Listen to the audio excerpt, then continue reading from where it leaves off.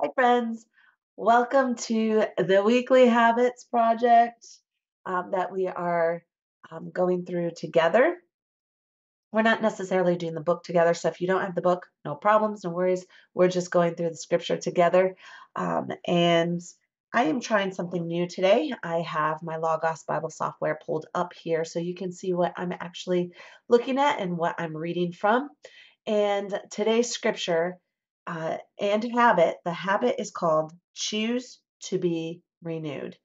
Choose to be renewed. And the scripture that is given for today is Psalm 51:10. And it reads this from the NASB Create in me a clean heart, O God, and renew a steadfast spirit within me. The NLT reads Create in me a clean heart, O God, and renew a loyal spirit within me. And then the one I choose to study from is the ESV. Create in me a clean heart, O God, and renew a right spirit within me. Now, if you don't have Bible software, it's okay. Um, you can go and look up different translations like we just did here and see the fullness and the roundness of this scripture or any scripture. It's so important that we um, use different translations to see how the Bible is interpreted. And um, I particularly like the ESV to study from because it's a literal translation versus an NLT as a thought translation. Um, so I choose the ESV to study from. And so this particular word um, is different in three places. The NASB says steadfast. The New Living Translation says loyal. And the English Standard Version says right, renew a right spirit within me. And when we look down here at the Hebrew um, and the original language, this is what that is. Um, actually, it's the lemma right here. Um, and uh, what that means is to be steadfast. And to be steadfast is to be marked by firm determination or resolution to be unshakable.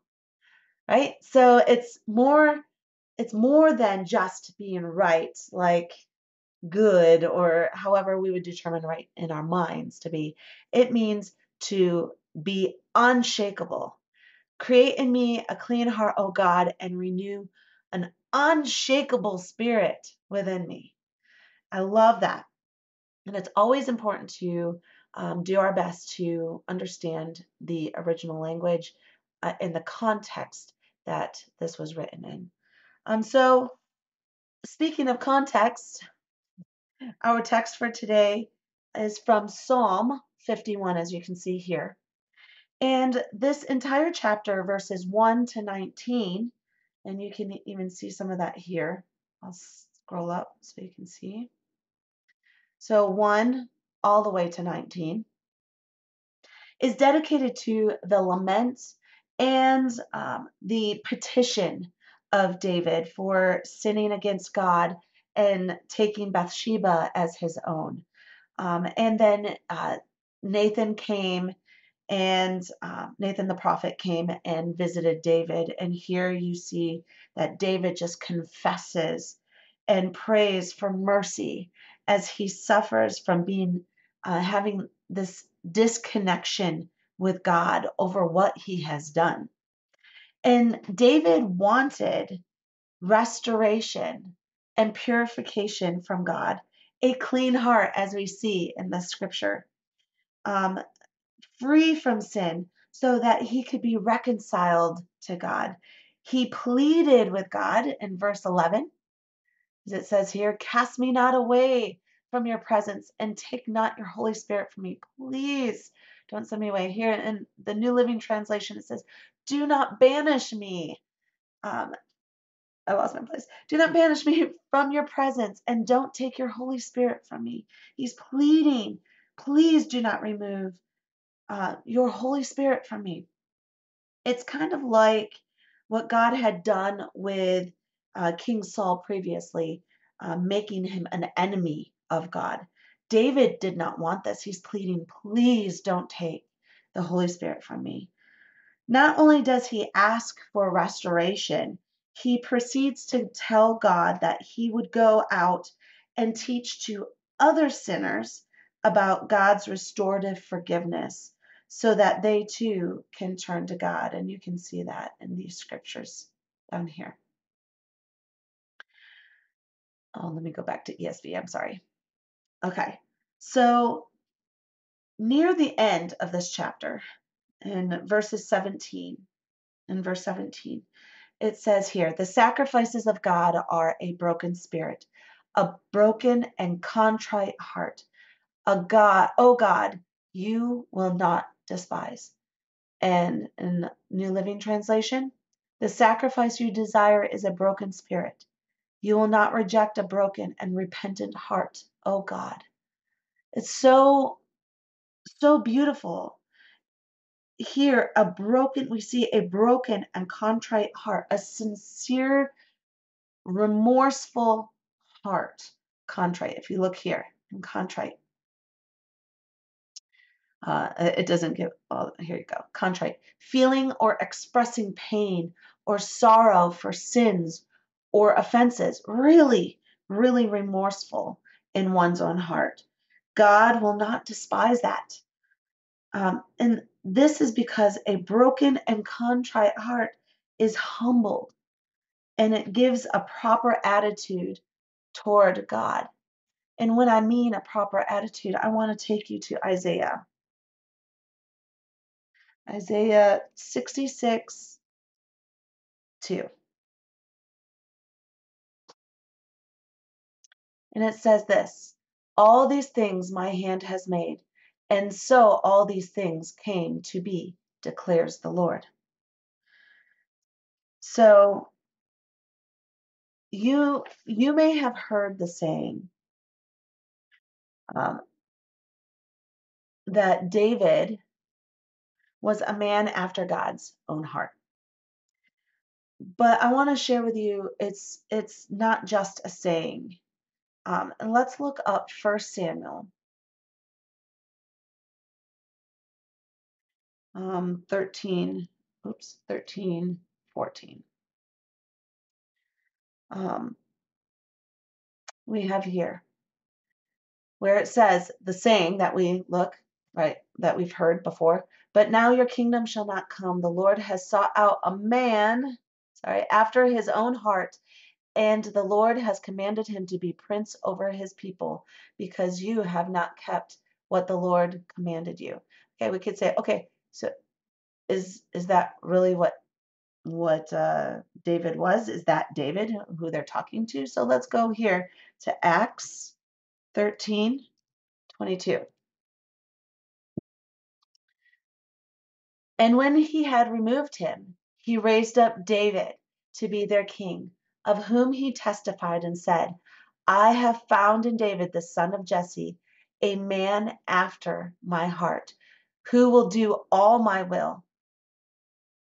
So we see that in Acts 13 22, that David's heart was the distinction between the physical conformity and the true spiritual change to God's will.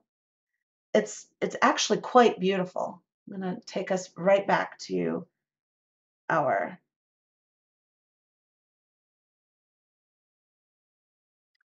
um, our text for today. So this week, our habit is to choose to be renewed. So my question is, where is your heart? Are you just going through the actions without the spiritual change? Um, are you missing out on that devotion to God? Christianity is more than just a group of people who follow Christ. Christianity is a group of people that have been chosen to have a broken and contrite heart for their sins, giving them a humble and proper attitude towards God. They want more than just the physical change in them. They want a spiritual renewal. That is what a Christian is. It's more than just going through the actions of going to church and loving others, which are all great things.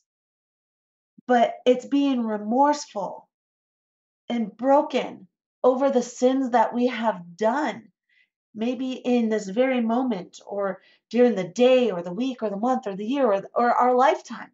It's having that that feeling of I am so sorry for what I've done and asking God to come in and renew us with his love and guidance and forgiveness.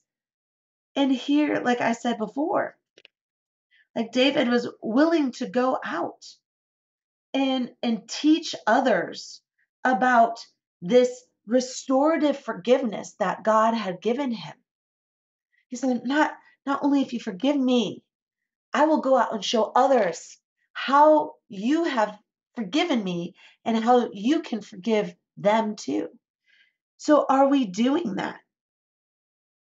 Are we being that group of people that is so remorseful, but not only that, teaches other people to have that humble heart, that they too can be forgiven? I started our Facebook group, Reclaimed Women of God, because we often beat ourselves up um, for feeling ashamed or guilty of our past. Um, but we will claim 2 Corinthians 5:17. Let me take you there.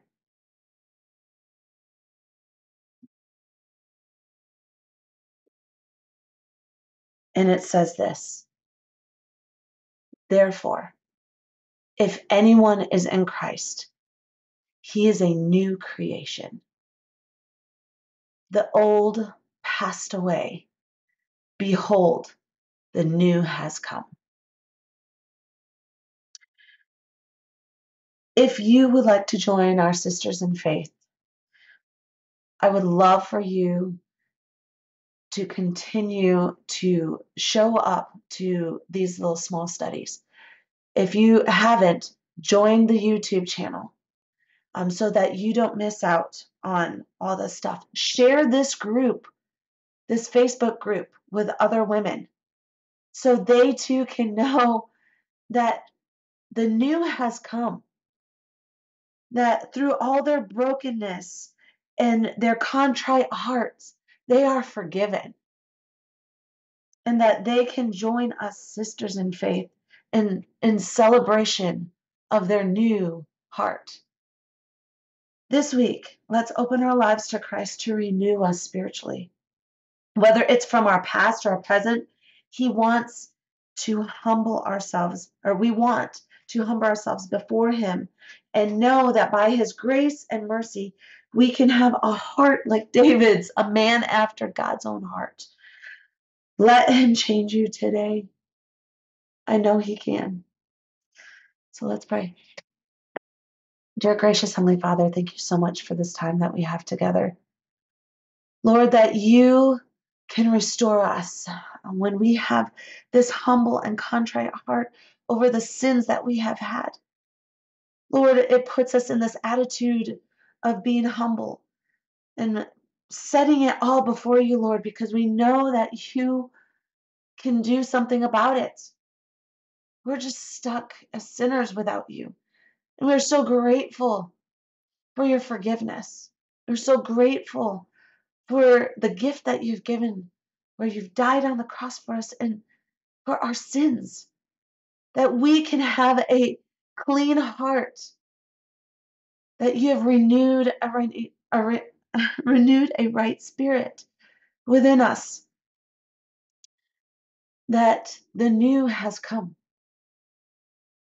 Lord, I ask that you please continue to pour your grace and your mercy over each one of us and help us to rise up and share with others that they too are forgiven and that you can renew them too. Thank you, Lord, so much for this opportunity to be a daughter of Christ. We love you. In Jesus' name we pray. Amen. Blessings. Oh, and if you like what you see, please again jump over to YouTube. Um, if you're here in YouTube, press that subscribe button and follow us on the Facebook group, Reclaimed Women of God. Um, let's join together and celebrate together as daughters of Christ. Thank you for your support.